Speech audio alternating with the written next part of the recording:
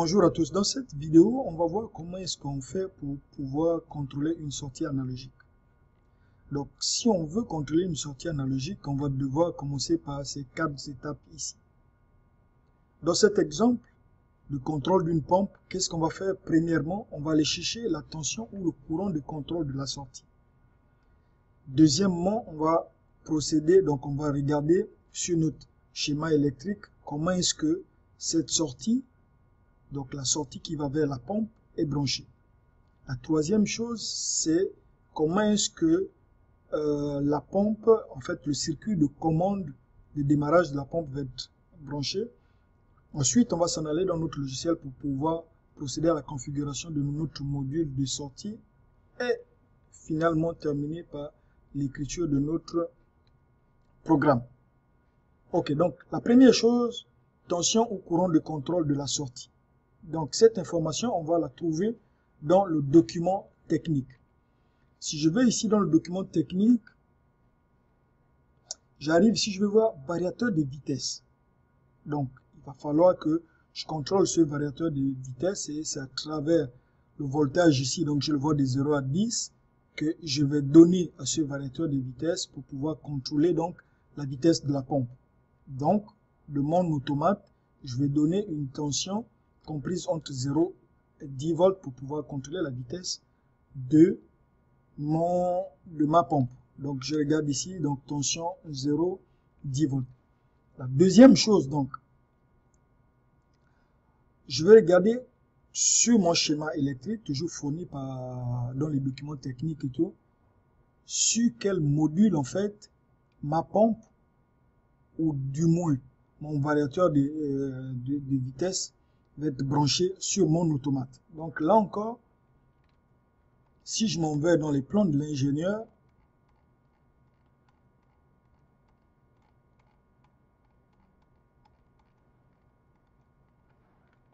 je vais trouver ici consigne de vitesse. Donc si je regarde SC01, là c'est le tag qui est placé sur mon, sur mon, qui est physiquement placé sur mon variateur de vitesse. Donc si je regarde ici, je vois qu'il est branché sur la slot 2 GI out 0 plus.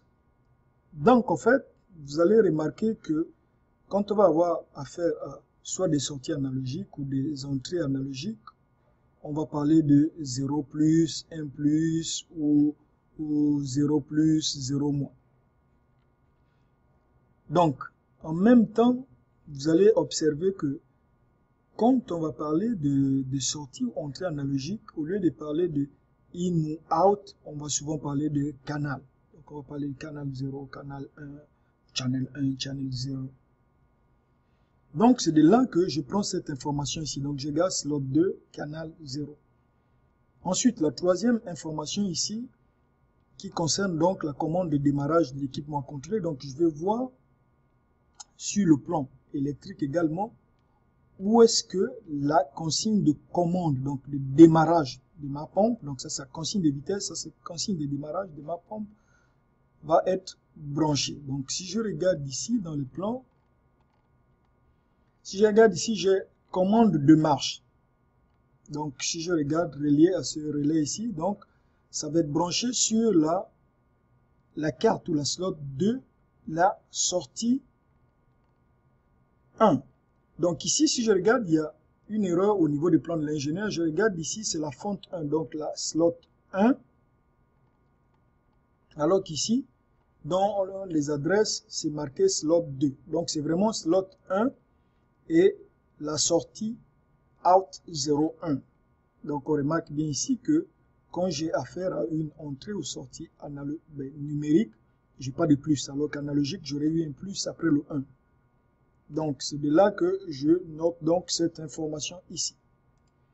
Ensuite, fort de toutes ces informations-là, je peux m'en aller donc dans mon logiciel et puis aller configurer ma carte de telle sorte qu'elle réponde exactement aux exigences ici de mon variateur de vitesse et de ma consigne de commande du moteur, de démarrage du moteur.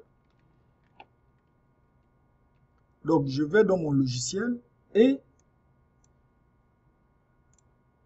comme c'est dit ici, donc à travers les informations que j'ai recueillies ici, donc je suis dans la slot 2.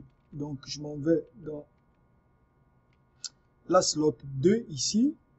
Je clique deux fois dessus et je m'en vais dans Output Configuration parce que je suis en train de configurer donc une sortie analogique. Donc je vais dans Output Configuration.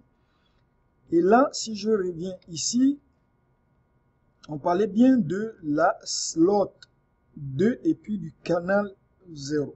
Donc je viens ici, canal 0, je suis déjà dans la slot 2, donc canal 0, et le voltage c'est 0 à 10 volts. Donc je vais configurer de 0 à 10 volts. Je clique sur appliquer. Ok. Et quand je vais dans mes on va juste laisser prendre l'information. Ok. Quand je vais, donc, je mets configuration, et là, ça va être très important. Data format. Donc, nous, on va aller chercher Engineering Unit. Je clique sur appliquer. Et là, il va me dire en Engineering Unit, la valeur maximale en fonction de qu'est-ce que je viens d'entrer comme paramètre, ça va être 10 500 je clique OK et puis je vais mettre donc 10 500.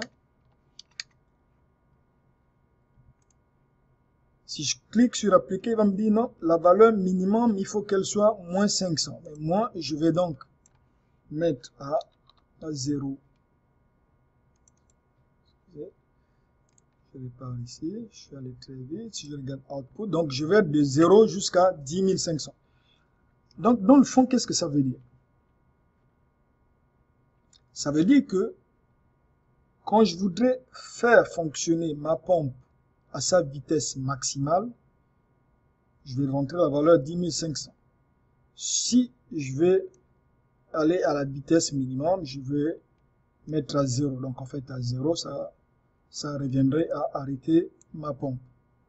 Donc là, je clique sur OK, je viens définir la configuration. Donc je viens définir la configuration du module de sortie de mon automate. Donc, en ce moment, je suis donc prêt à procéder à ma programmation, à écrire mon programme. Donc ici, j'ai créé un programme qui s'appelle pompe test. Et là, qu'est-ce que je vais faire? Donc, dans le programme, je vais m'en aller comme on sait le faire. Donc, mon contact de démarrage, mon contact de maintien, et à la suite, donc en fait mon contact d'arrêt, je vais mettre mon contact de maintien ici. Et je vais mettre ici donc, je vais mettre une instruction move ici. Je vais vous expliquer plus tard. On move ici, je viens, je vais donc mettre en parallèle une autre instruction ici et puis je vais prendre une bobine.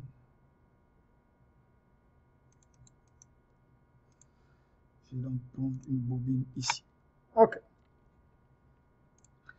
Donc ici, pour les besoins de, de, de, de durée de ce, de, ce, de, de cette vidéo, je vais donc créer un tag interne.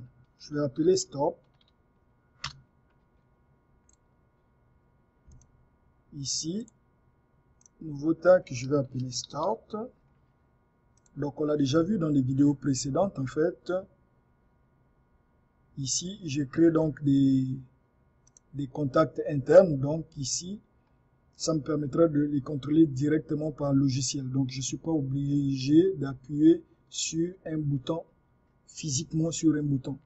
Donc je vais juste faire des toggles ici donc changer l'état directement à partir du logiciel. Donc ici, je vais rajouter mon contact de maintien. Et ici, donc, on a dit deux choses à faire. À chaque fois donc qu'on va vouloir contrôler une vitesse, une sortie analogique, l'instruction qu'on va utiliser, ça va être move. Donc, dans move, j'ai besoin de deux choses. Une source et une destination. Donc la source, en fait, ça va être la vitesse que je veux envoyer à ma pompe. Disons que je mettrai à 10 200, qui serait proche de sa vitesse maximale. Et donc destination, ici, ça va être très important. Donc destination, vous voyez, je peux rien mettre ici. Donc dans destination, la première chose que je vais faire, donc, c'est de créer un espace dans la mémoire de l'automate dans lequel je vais aller euh, mettre ma valeur donc de la vitesse. Mais ici, si je regarde où est-ce que je veux mettre ma vitesse dans le fond, je vais envoyer ma vitesse donc à mon variateur de à mon variateur de vitesse. Donc c'est là que c'est sur la sortie sur laquelle est branché mon variateur de vitesse je vais envoyer cette valeur de 10 200 que j'ai mise ici. Donc là, cette fois, donc je vais, si je regarde mon variateur, il est branché sur quoi? Mon variateur il est branché dans la slot 2, canal 0. Donc c'est lui que je viens de configurer il n'y a pas longtemps. Donc je clique dessus. Canal, donc je vais sur local 2. Très important, donc local 2, output. Et là, je vais sur le canal, je regarde ici, donc canal 0. Donc, je reviens à mon logiciel, local 2, je vais compléter. Donc, j'ai local 2 output et puis c'est sur le canal 0. Donc là, ça va être très important. C'est une donc la lecture va se faire sur 16 bits. Donc très important de ne pas cliquer sur un bit en particulier. J'aurai besoin de tous les 16 bits pour faire ma lecture. Donc je clique là-dessus et vous voyez donc immédiatement, en ce moment, dans l'espace réservé donc euh, réservé dans ce, module et tout, va être de 0. En ce moment, il n'y a rien. Donc, j'ai aucune vitesse là-dedans. Donc, ça, ça va être la première instruction pour pouvoir envoyer ma vitesse sur mon variateur de, de vitesse. La deuxième chose, donc, ça va être la consigne de commande de démarrage. Donc, si je regarde ici, j'ai ma consigne, donc mon, mon, mon, démarrage, ma consigne de démarrage, en fait, qui va être branchée sur la slot 1, output 1. Donc là, je vais m'en aller. Slot 1, donc local 1, output. Et là, c'est, on a dit sur le bit 1. Donc c'est bien ça, output 1. Donc là, évidemment, je vais faire mon bouton de maintien ici. Et voilà, mon programme achevé. Donc là, très important, je suis donc dans Pump Test. Il va falloir que j'aille dans ma routine principale. Et là, je vais mettre donc ma ligne de programme. On a dit, on va le présenter de la façon suivante. Donc, je vais mettre un GSR auquel je vais orienter vers pompe test. Et une autre chose à rajouter, juste pour s'assurer que tout est fait dans le respect de là. Donc ici, je vais rajouter contact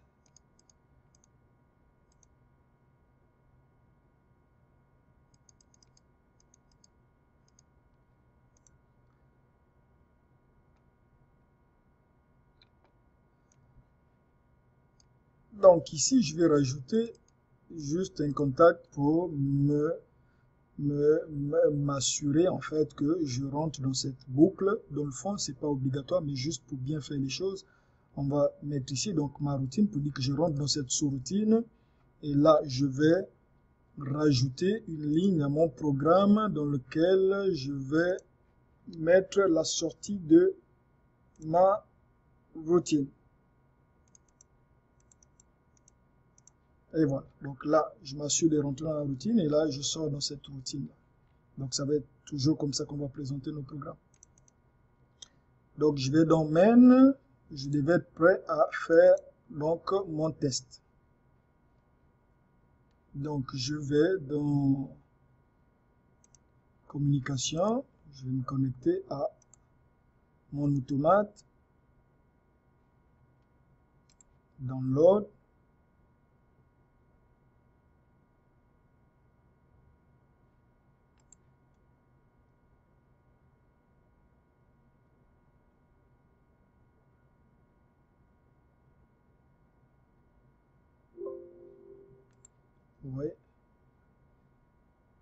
Et donc là, si je viens faire démarrer mon système ici, voilà, je peux juste tourner, je vais tourner la caméra pour voir en ce moment.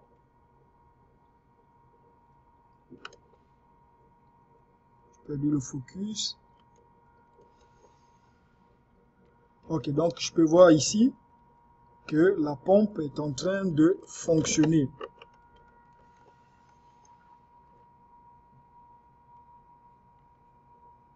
Donc je regarde ici, je peux voir comment donc mon réservoir est en train de se vider.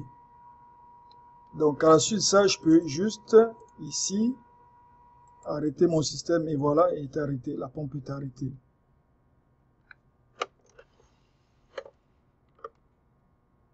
Donc ceci clôt notre vidéo sur le contrôle des sorties analogiques. Merci.